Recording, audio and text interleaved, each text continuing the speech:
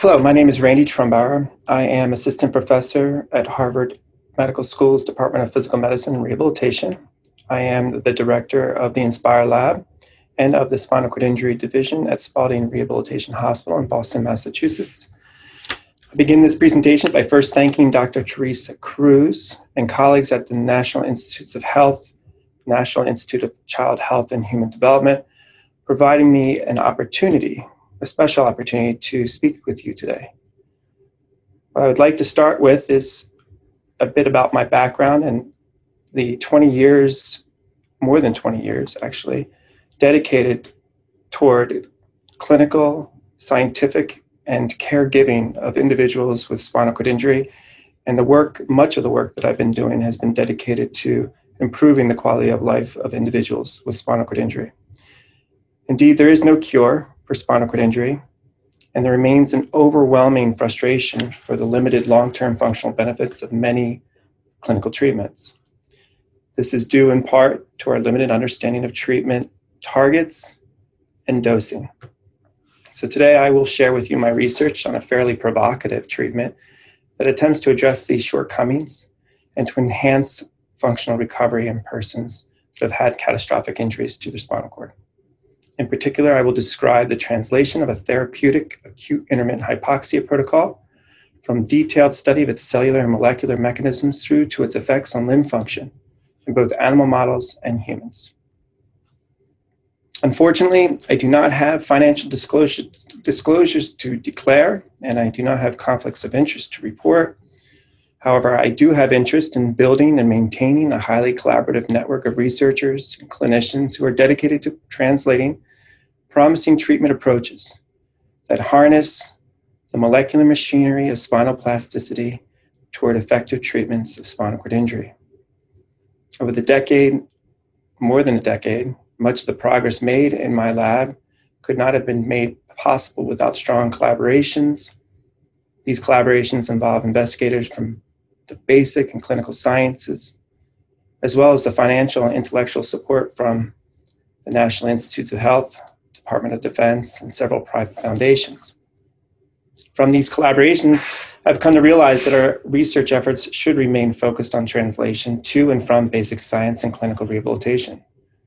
I realize the assimilation of these synergistic efforts to bolster functional recovery after injury to spinal cord are necessary, essential, and rapidly becoming substantial. With restoring lost function as the ultimate goal in spinal cord injury rehab, there is a critical need for more targeted more precise treatments to promote plasticity and endogenous repair of residual circuits important for restoring limb use. This presentation will explore acute intermittent hypoxia as a potential treatment that challenges the traditional trajectory of spinal cord injury rehab. So I start with a very provocative fundamental question. Can we modify the air we breathe in the form of a physiological stressor to harness endogenous mechanisms of plasticity that augment motor recovery after spinal cord injury. This idea is not new. For more than 20 years, Gordon Mitchell and colleagues were started out at the University of Wisconsin. Now, Gordon Mitchell and many of these researchers are in, um, at the University of Florida, have identified a complex cascade of acute intermittent hypoxia induced plasticity and spinal motor nuclei that require, in part, among many other things, episodic serotonin release from raphe spinal projections that descend down on motor, phrenic motor nuclei, provided that there remain some serotonergic projections that cross the injury site. We call this an incomplete injury. From there, there's initiation of new synthesis or upregulation of a brain derived neurotrophic factor, which are called BDNF, and activation of its high affinity receptor, tyrosine kinase B. From there, there's postulate downstream signaling events, including MAP kinase activation and glutamate receptor insertion at the synapse between the premotor and motor neurons, thereby increasing synaptic strength, motor neuron activation, and leading to a functional change, as is the case of breathing, an improvement in breathing capacity. what these investigators found was that upregulation and new synthesis of BDNF is necessary and sufficient to elicit the long term facilitation of respiratory drive in rodents with high cervical C2 hemisected lesions where half their diaphragmatic breathing was compromised. What they also found by chance was that the BDNF upregulation occurred outside of the phrenic motor nuclei, descending on motor areas within the spinal cord far distal to the cervical cord. As it turns out, this finding and this, this new development provided us a greater appreciation for how a new treatment in one motor or sensory system can be relevant to others, such as walking.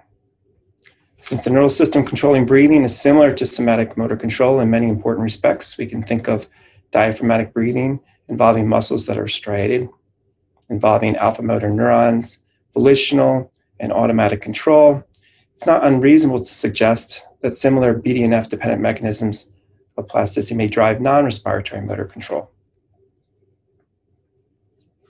Indeed, since acute intermittent hypoxia restores respiratory function after C2 injuries and involves an upregulation of BDNF and motor nuclei along the entire neuraxis, my colleagues out of, the, out of Canada at the University of Saskatchewan tested the hypothesis that acute intermittent hypoxia restores limb function in rats with cervical, incomplete, dorsolateral funiculus lesions. In 2012, my colleagues, Gillian Muir and others, conducted a study to measure the extent to which 30 minutes of acute intermittent hypoxia affects locomotor performance on a ladder locomotor task. The figure on the left illustrates a rat negotiating a ladder with four slipping occurring between the rungs. And these rats performed fairly poorly during this task of horizontal ladder walking just prior to the treatment. However, however, most striking was the effect of this performance after seven consecutive days of acute intermittent hypoxia, as depicted in the treatments in the yellow arrows pointing down, days one through seven. The performance on the left of a rodent negotiating the ladder on the seventh day of treatment makes minimal to zero errors in performance. As it turns out, this beneficial changes, as shown in the right plot in magenta, far exceeded what we would ever expect from a, a treatment such as this that persisted not only after the seven days, but near 28 days following the seven day treatment. As a follow up, in 2015, Muir also found that this treatment, this pre treatment of intermittent hypoxia, was most potent when it was combined with the task of horizontal ladder walking. And she found that there was no effect in rodents that did not receive this training, nor did she find that when individual rodents received this training, did they improve in other untrained tasks, such as reach to grasp. So collectively, these results suggest that intermittent hypoxia as a pre, as a, can serve as a pre-treatment for task-specific motor training, and that this pre-treatment is more effective at enhancing performance of the trained motor task than any other forms of tasks or motor tasks. The exciting discovery that persisted in rodent models of spinal cord injury may translate to similar benefits in humans with spinal cord injury. We asked the question Can breathing mild bouts of low oxygen prior to gait training improve walking function in persons with spinal cord injury? What we know from prior animal studies is that BDNF is important for motor facilitation. BDNF is necessary and sufficient for acute intermittent hypoxia induced plasticity in rats. We know upregulation of BDNF through motor training and exercise is associated with functional recovery after spinal cord injury. And exogenous BDNF can also improve motor recovery after injury. So the possibility of translating a pre-treatment of intermittent hypoxia with locomotor training, and exercise could produce a greater effect than either one alone. So we focused our early studies on the safety and efficacy of a low dose acute intermittent hypoxia as a treat, pre-treatment to gait training in persons with chronic incomplete spinal cord injury. Certainly, we know that the physiological, physiological triggers of plasticity are not always good. Prolonged exposure to low oxygen, such as the case of sleep apnea, trigger maladaptive changes and serve no therapeutic purpose. Chronic hypoxia exposure can elicit hypertension, cell death, learning deficits, sleep loss, and DNA injury. But early work in rodents show less severe protocols do not elicit these maladaptive changes. Instead, these brief intermittent exposures elicit a form of pattern sensitive plasticity that has very profound functional benefit. Thus, we need to consider a balance must be achieved between maximal improvement in motor function and minimizing adverse consequences. As it turns out, there's been some great promise and progress, which has led to some exciting proof of principle studies in humans. In 2014, we conducted a first in human study to examine the safety and efficacy of daily acute intermittent hypoxia alone, as well as with training on walking ability in humans with spinal injury. This is a randomized clinical trial that took place at Emory University, the Shepherd Center in Atlanta, Georgia, and the Rehab Institute of Chicago. We used a repeated measures crossover double blinded study design. The studies participate in five consecutive days of intermittent hypoxia or sham, which is intermittent room air, followed by 30 minutes of intensive overground walking practice. Our outcome measures were looking at the speed of walking and the endurance of walking using standard clinical measures of walking speed, that is the 10 meter walk test, and standard measures of walking distance, which is referred, which we used as the six minute walk test. The intermittent hypoxia breathing protocol session consisted of 15 90 second episodes of breathing at between 9 and 10% oxygen, which corresponded to an altitude of about 20,000 feet above sea level, with 60 second room, in, room air intervals at 21%. The air delivery system supplied either low oxygen or room air to a breathing circuit that connects to a non rebreather mask worn by the participant and we use nitrogen to counterbalance the oxygen concentrations. We also continuously monitor patient participants' cardiovascular and respiratory function throughout the breathing, and we're happy to report no serious adverse events occurred in these trials or in any of the trials that we've run in humans to date. What we did find was that participants who received daily acute intermittent hypoxia prior to their walking training greatly improved their overground walking performance The plot on the left is a summary of the average improvements on the six minute walk test in 10 participants after day one, day five, and follows one and two weeks after the first treatment. Participants improved their six minute walk test distance by 37% after a single week. These results are quite profound, since more than 70% of these individuals achieved a minimal clinically important difference in walking endurance of more than 50 meters, and many had gains of over 100 meters, seen with a short treatment duration of acute intermittent hypoxia with training. This greater than 100 meters is comparable or even greater than those seen with much longer training studies. In fact, these contemporary walking studies have found that similar performance gains typically occur between 4 and 12 weeks in duration. Is it possible that the acute intermittent hypoxia treatment may serve as an accelerator for improvements in performance on the training? That's one thing that we should certainly consider in the future.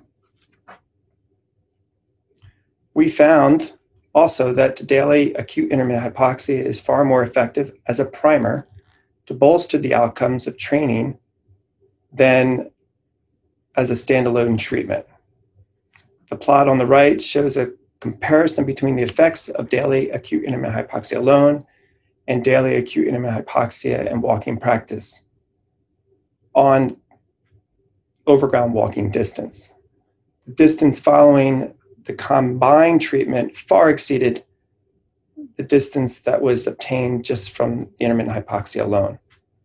Nevertheless, these beneficial effects on walking did not persist for all participants. And so we ask an important clinical impact question Can we improve the beneficial effects of acute intermittent hypoxia alone or by adding more treatment days, as done in the rodent models? To address this question, we conducted the same trial as before. Uh, instead, we doubled the number of treatments from five to 10 days and found that the enhancement that we saw from the original five day treatment was dramatically greater when we added five additional days. Group data are presented on the left with total distance traveled during each training day, and you can clearly see a very large increase in overall distance traveled between days one through days 10. Indeed, we found that the improvement in training distance also associated with improvements in walking speed that persisted more than one month after the last treatment. And similarly, improvements occurred for walking distance as shown on the right plot. Despite these promising discoveries in rodents and humans, the benefits of acute intermittent hypoxia may be attenuated by competing mechanisms. These mechanisms may account for 30% of participants who did not improve their walking performance after acute intermittent hypoxia. What we know is that there are numerous pathways that elicit their own form of motor facilitation. However, when they are activated together, may result in cancellation of effects. For instance, the adenosine 2A receptors activated during acute intermittent hypoxia trigger a cellular cascade that competes with and undermines the serotonin dependent pathway postulated to give rise to functional recovery. Mild hypoxia causes ATP release from glial and other sources, leading to an accumulation of extracellular adenosine and subsequent activation of a G coupled S protein can elicit a distinct form of motor facilitation that occurs through new TrkB synthesis and downstream signaling through protein kinases. While modest acute intermittent hypoxia, the Q pathway dominates, but can be restrained by an S pathway coactivation. Consequently, an adenosine 2A antagonist, receptor antagonist, such as istradefylline, administered intraspinally or systemically in rodents, enhance motor facilitation following AIH. Thus, we are testing this possibility in humans. Can we remove an endogenous constraint to motor plasticity with an adenosine 2A receptor antagonist in humans? We could test this poss- possibility of crosstalk inhibition during acute intermittent hypoxia with a well tolerated A2A antagonist known as caffeine, and then measure the acute intermittent hypoxia induced improvements in motor recovery in persons with chronic spinal cord injury. We did this and showed in preliminary results that indeed administering moderate doses of caffeine 30 minutes before acute intermittent hypoxia produced far greater improvement in walking speed as compared to controls, acute intermittent hypoxia alone, or caffeine alone. So, in summary, acute intermittent hypoxia alone, but more when combined with training, appears to trigger rapid mechanisms of plasticity that increase motor output in the respiratory and non respiratory systems of rodents and humans with spinal cord injury. Indeed, these results are exciting and offer support for acute intermittent hypoxia as a potential adjuvant for broad ranges of spinal cord injury treatments. Nevertheless, the future success or failure of intermittent hypoxia will depend in part on a few critical questions. What we know is there is no silver bullet to spinal cord injury rehab. And some of these questions that are still unanswered, our colleagues, my colleagues, and I are actively pursuing. For example, are there biological markers that may make people more or less responsive to this form of treatment? And are there medical conditions or other treatments that influence the safety and efficacy of acute intermittent hypoxia, such as medications, genetics, polymorphisms, inflammation, and sleep disorder breathing? And so, with that, I would like to say thank you, and I'll take any questions.